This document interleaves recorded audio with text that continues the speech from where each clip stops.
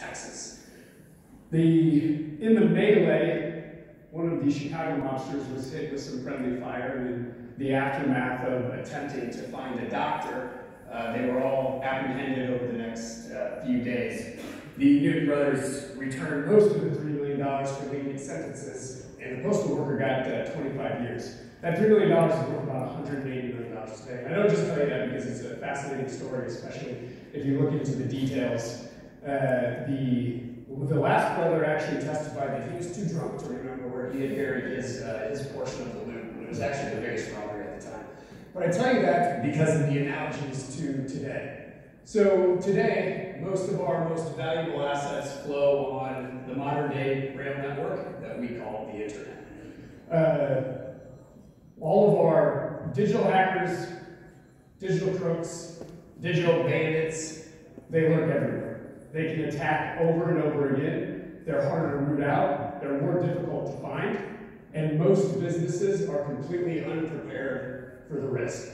They have no remediation. They have no skills. They don't understand what the risk is. And a lot of underwriters are underwriting with very little data. It's a very real problem. If you include DDoS, botnets, phishing, ransomware, social engineering, employee bad actors, etc., etc., etc., two out of every three small to mid-sized businesses was had a cyber attack in 2018. Two out of every three. Yet 63% don't believe they have the skills to combat the problem. 83% don't believe that they have a budget. and quite frankly, they're all right. They don't have the skills, and they don't have the budget, and they don't understand the risk. So we have an increasing level of cyber attacks. We have a majority of businesses who don't have insurance for it and don't believe they can deal with the problem if it happens yet they still don't understand what the risks really are. This white space right here is, so this represents the percentage of uptake of businesses that are purchasing cyber today. So on average, it's about, it's about 20%. My guess is this room knows that as much as well as anyone. This, all this white space right here is really greenfield opportunity specifically for uh, insurance agents and brokers. I believe insurance agents and brokers are on the front line of defense for this ever increasing risk and have the opportunity to add another quiver in the risk management portfolio that makes them a trusted advisor in the first place.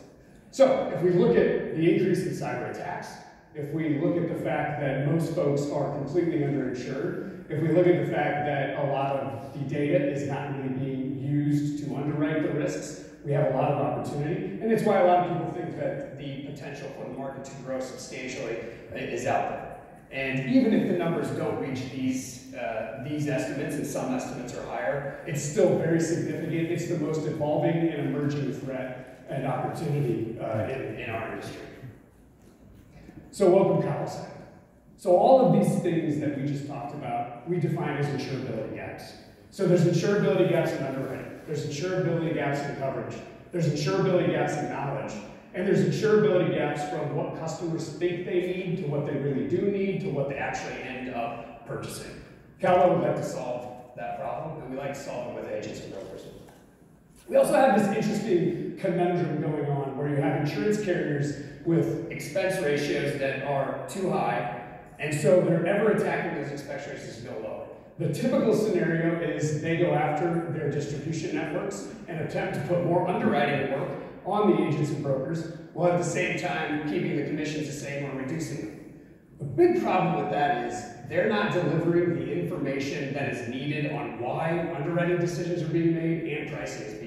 That's a huge gap of uh, information asymmetry, and we'd like to close that gap as well. So what is Cowbell? So Cowbell is developing a patent pending system that we call the Cowbell Factor that is a standalone and comprehensive program with an improved claims experience, coverage tailored to risk exposures, aligned and continuously being underwritten. So exposures are continually, all the time, being addressed where they are. Gaps can be taken advantage of, loss control can be real. This leads to expedited binding and underwriting with very little information. How do we do this? What's our secret sauce? So we have, on, on our platform and on our artificial intelligence platform, we're bringing in millions of data points all around the world public data points, outside-in data points, regulatory data points, and also inside-out data. And as we put our, our algorithms on top of it, we're able to normalize those data points and bring those down to what makes sense from a customer standpoint. This leads into probability, probability and severity of more accuracy on the underwriting side and allows agents to have a real data-driven conversation with their customers rather than a presentation conversation.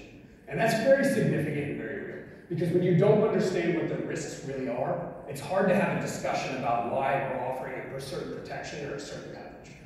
So again, if we go back to that information asymmetry, on the Cowbell platform, the policyholders, the brokers, the underwriters, all of them have the same in input into the transparency of the information, the Cowbell factors on a granular level, leading to the aggregate risk exposures. So we're announcing tomorrow uh, our company. You guys are getting a sneak peek, and this is a little sneak peek of our broker portal, customized for brokers to give everything that, uh, that an agent or a broker would need. Uh, the neat things about this is there's information in here that most people haven't seen before of how they don't understand their risk. It shows how the cowbell factors align to specific coverages and exposures, where there's gaps in those exposures, and why those exposures need to be addressed. We also have the same platform for policyholders. One of the neat things here is policyholders can actually benchmark their cybersecurity versus their industry, versus their market, and brokers can actually do the same with their entire book. Again, what this leads to is a data-driven conversation so you can solve problems that customers really have. So there's a lot of opportunities here. There's more customer loyalty, there's more cross-sell, there's more revenue. But the important part is building a product that actually makes sense and a product with appropriate coverages for specific customers. Uh, we'll be at booth K40. We want to partner with agents and brokers as we build this product because um, we believe that that's the way to uh, get to the risk management expertise that is out there today. And feel free to email me, call me, and uh, contact me. Thank you.